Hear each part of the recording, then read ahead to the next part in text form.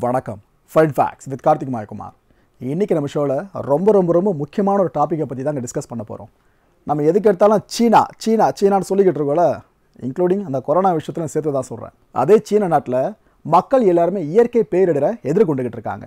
இந்த நேரத்தில் உலக நாடுகள் அதிலும் குறிப்பிட்டு சொல்லணும்னா உலக நாட்டு ஊடகங்கள் எல்லாமே இந்த வெள்ளத்தை பற்றி பேசுகிறதுக்கு மாற்றா ஒரு அணையை பற்றி ஒரே ஒரு குறிப்பிட்ட அணையை பற்றி தான் மிக பிரபலியம் வாய்ந்ததாக பேசிக்கிட்டு இருக்காங்க. எப்படா இதை கட்டினாங்க? எதுக்குடா கட்டினாங்க? இவ்வளோ ரிஸ்க் இந்த அணையில் இருக்குன்னு தெரிஞ்சு எதுக்கு கட்டினாங்க? இந்த அணை இருக்கிறதுக்கு எல்லாமே இருக்கலாம். இது பூமி சுழல்ற வேகத்தை கூட குறைக்குது அப்படின்னா எதுக்காக இந்த அணை இந்த பூமியில் இருக்கணும்? இப்படி பல பேர் நெகட்டிவாக பேசுகிறாங்க இன்னும் ஒரு சாரார் பார்த்தீங்கன்னா சே சீனாவால் முடியுது. ஆனால் மற்ற நாடுகளால் முடியலையேப்பா. என் நாடால் முடியலையேப்பா. இவ்வளோ பெரிய மெகா ப்ராஜெக்டை முன்னெடுத்து அதை சக்ஸஸ்ஃபுல்லாக முடிக்கிறதுலாம் வேறு லெவலு சீனர்களுக்கு நிகர் சீனர்கள் மட்டும்தான். இப்படி பாசிட்டிவாக பேசுகிறாங்க இவ்வளோ பில்டப் கொடுக்குறல ஆனால் ஆனான்னு சொல்லிட்டு. அந்த அணை என்ன? இதன் மூலமாக கிடைக்கிற பயன்கள் என்ன? இந்த விஷயத்தில் இருந்து நாம் இந்தியர்கள் சீனாவோட அணை விஷயத்துலேருந்து என்ன தெரிஞ்சுக்கணும்? இப்படி பல விஷயங்களை தான் இன்றைக்கான ஷோவில் பேச போகிறோம் நிகழ்ச்சியில் போகலாம்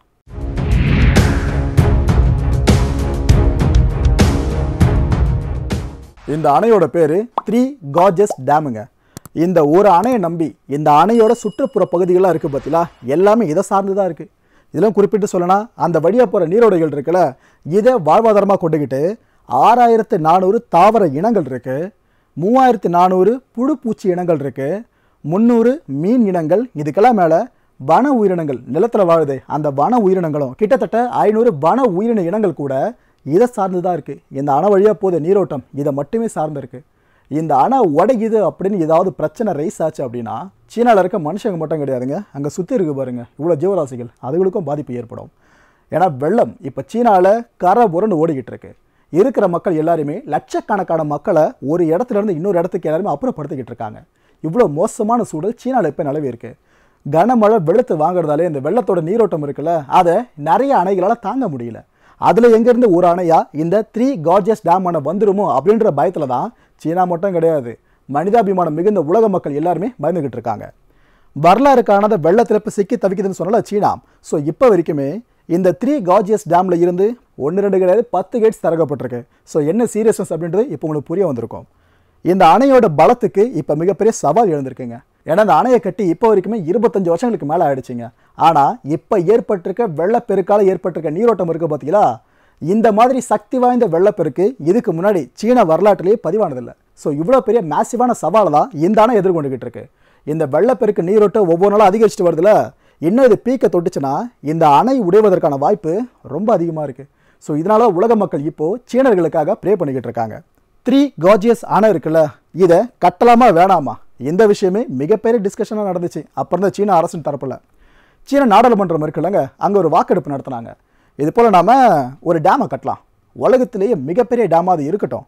நீர் வளங்களை நம்ம நாட்டை மாதிரி வேற எந்த நாடுமே கரெக்டாக பேணி பாதுகாக்க முடியாதுப்பா. அப்படின்னு எல்லாம் சொல்கிற மாதிரி அந்த அணை அமையணும்னு சொல்லிட்டு ஒரு முடிவுக்கு வராங்க அப்போதே சீன அரசு. வந்தவங்க என்ன பண்ணுறாங்க அங்கே இருக்க டெலிகேட்ஸ் கிட்ட இந்த நாடாளுமன்றம்னு சொன்னல இப்போ நம்ம ஊரில் எம்பிஸ் இருக்காங்களா? அது மாதிரி மைண்டில் வச்சு ஈஸியாக இருக்கும். சீனாவில் இருக்க டெலிகேட்ஸ் இடையில வாக்கெடுப்புக்கு இந்த முடிவை விடுறாங்க. அணையை கட்டலாமா? வேணாமான்னு சொல்லிட்டு. இதுக்கு அறுபத்தி ஏழு புள்ளி ஏழு ஐந்து சதவீதம் டெலிகேட்ஸ் ஆதரவு தெரிவிக்கிறாங்க. அணையை கட்டலாம்ப்பா. ஏன்னா நிறைய செலவாகும்னு சொல்றீங்க. பரவாயில்ல. இவ்வளோ பெரிய மேசிவான ப்ராஜெக்ட்டுக்கு இந்த அளவு செலவாகலாம் எப்படி? கட்டலாம்னு சொல்லிட்டு அறுபத்தி ஏழு புள்ளி ஏழு ஐந்து சதவீதம் டெலிகேட்ஸ் ஆதரவு வாக்கு தெரிவிக்கிறாங்க. ஸோ இதில் உங்களுக்கு புரிஞ்சிருக்கும். எத்தனை பேர் இந்த அணை கட்டுறதுக்கு எதிராக இருந்தாங்கன்னு சொல்லிட்டு. சீனாவை பொறுத்த வரைக்கும் ஆளும் கம்யூனிஸ்ட் கட்சி இருக்காங்களா இவங்களுக்கு எதிரான தரப்பில் இருக்கிறது ரொம்ப கஷ்டம் அந்த நாட்டில். அப்படி இருந்துமே இந்த அளவு எதிர்ப்பு இந்த அணை கட்டுற விஷயத்துல வந்துருச்சுங்க. சர்ச்சைக்குரிய கட்டுமானமாக இது அப்பத்திலிருந்து பார்க்கப்பட்டுருச்சு. எப்போ இந்த அணையை கட்டலான்னு முடிவு பண்ணி வாக்கெடுப்புக்கு விட்டு இதில் அறுபத்தி ஏழு புள்ளி ஏழு ஐந்து சதவீதம் டெலிகேட்ஸ் மட்டும் ஆதரவு தெரிவித்தாங்களோ அப்போவே இது சர்ச்சைக்குரிய கட்டுமானமாக முத்திரை குத்தப்பட்டுருச்சு ஆயிரத்தி தொள்ளாயிரத்தி தொண்ணூற்றி மூணில் இந்த த்ரீ காஜியஸ் அணையை கட்டுற பணி ஆரம்பிக்கப்படுதுங்க. கிட்டத்தட்ட பதினேழு வருஷங்கள் வரைக்கும் இந்த அணைக்கான கட்டுமான பணி போய்கிட்டே இருந்துச்சு. ஆக்சுவலாக மொதல் ஏழு வருஷத்துலேயே கிட்டத்தட்ட முடிச்சிட்டாங்க இந்த ப்ராஜெக்டில் எல்லா ஒர்க்கையுமே ஆனால் அதுக்கப்புறம் இன்னும் நிறைய நிறைய தொய்வுகள் ஏற்பட்டு இதெல்லாம் நீட்சி அடைஞ்சு அடைஞ்சு தான் பதினேழு வருஷங்கள் இந்த அணையை கட்டுறது தேவைப்பட்டிருக்கு. இதோட நீளம் பார்த்தீங்கன்னா ரெண்டாயிரத்து முந்நூற்று ஒன்பது மீட்டருங்க. நினச்சி பார்க்க முடியுதா? இதோட அகலம் ஒன்று புள்ளி ஒன்று கிலோமீட்டர். கடல் மட்டத்தில் இருந்து நூற்றி எழுபத்தஞ்சு மீட்டர் உயரத்தில் இதோட நீர்த்தேக்கம் அமைஞ்சிருக்கு. இதோட கொள்ளளவு பார்த்தீங்கன்னா மலைக்கு வச்சிரும் முப்பத்தி ஒன்பது புள்ளி மூணு கிலோமீட்டர் கியூபிக்ங்க இந்த விஷயத்தில் இன்னும் உங்களுக்கு புரிதல் ஏற்படணும்னா நம்மளோட மேட்டூர் அணை இருக்குது பார்த்தீங்களா? நம்ம தமிழகத்திலேயே மாறுதட்டி சொல்லிக்கிறோமே இவ்வளோ பேர் அணைப்பா நாங்கள் கட்டியிருக்கோம். வேறு லெவலில் இருக்கல சொல்லிட்டு இருக்கோம்ல. அந்த மேட்டூர் அணையில் நம்ம சேமித்து வைக்கிறோமே தண்ணி. இதை விட பதினஞ்சு மடங்கு அதிக தண்ணீரை இந்த த்ரீ காஜியஸ் அணையில் சேமித்து வைக்க முடியும். இப்போ புரியுதா? இதோட வெயிட் என்னன்னு சொல்லிட்டு. ஓகே நீர்த்தேக்கத்தோட ஆழம். இந்த கார்ஜியஸ் டேமோட நீர்த்தேக்கத்தோட ஆழம் பார்த்தீங்கன்னா தொண்ணூற்று ஒரு மீட்டர். இந்த அணை கட்டுமானத்தில் கிட்டத்தட்ட மூணு கோடியே ஐம்பத்தி ஆறு லட்சம் கியூபிக் யார்ட்ஸ் அளவுக்கு கான்கிரீட்டை பயன்படுத்தியிருக்காங்க. கிட்டத்தட்ட ஒரு நூறு அணை கட்டலாம். அப்படி நூறு அணைக்கு தேவையான கான்கிரீட்டை ஒட்டு மொத்தமாக ஒரே ப்ராஜெக்டில் இறக்கியிருக்காங்க. இந்த அணை கட்டுறதுக்கான ஸ்டீல் தேவைப்படும் பார்த்தீங்களா இந்த ஸ்டீலோட எண்ணிக்கை எவ்வளோ தெரியுமா?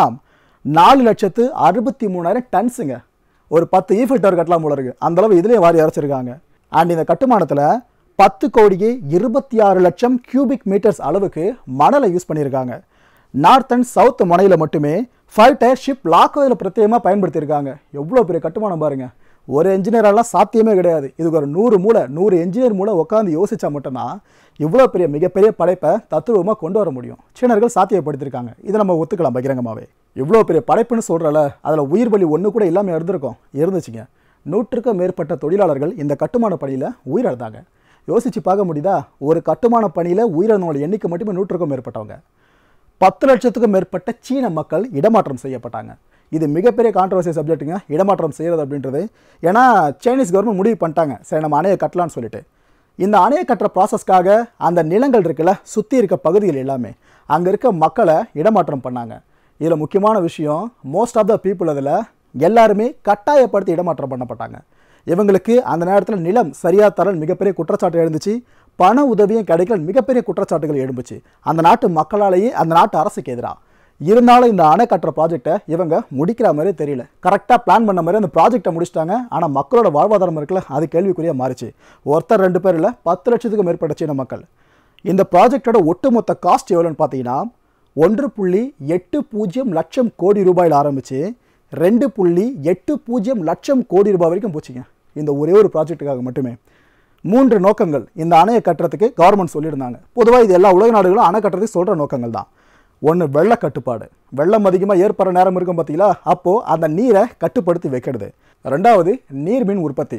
அதான் மின் உற்பத்தியை நம்ம பல விதங்களில் பார்த்துருப்போம்ல. நிலக்கரியை எரிய வச்சுலாம் மின்சாரம் கொடுப்பாங்க. இது நிறைய வகைகள் இருக்குது இது மாதிரி நீரை நீராற்றலை யூஸ் பண்ணி மின்சாரம் எடுக்கிறதுங்க.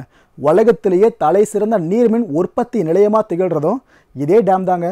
இதோட மூணாவது நோக்கம் என்னென்னு பார்த்தீங்கன்னா நேவிகேஷன் இம்ப்ரூவ்மெண்ட் ஸோ இது எல்லாமே சேர்த்து தான் சைனீஸ் கவர்மெண்ட் மக்கள்கிட்ட பரப்புரையாக முன்வச்சிருந்தாங்க இந்த அணைக்கட்டை இந்த மூணு நோக்கம் தான் நம்ம நாட்டு மக்களுக்காக தான் ஒத்துழைங்கன்னு சொல்லிட்டு. ஆனால் மக்கள் ஒத்துழைச்சாங்களோ இல்லையோ ப்ராஜெக்ட் வெற்றிகரமாக முடிக்கப்பட்டிருக்கு. இந்த த்ரீ கார்ஜியஸ் அணையை பற்றி இவ்வளோ நேரம் பேசிக்கிட்டு இருக்கேன் பார்த்தீங்களா அதோட கட்டுமான டிசைன் இருக்குல்ல அதை பாருங்கள் அப்போ தான் நான் சொன்ன விஷயங்களோட பிரம்மாண்டம் என்னன்றது உங்களுக்கே புரியும்.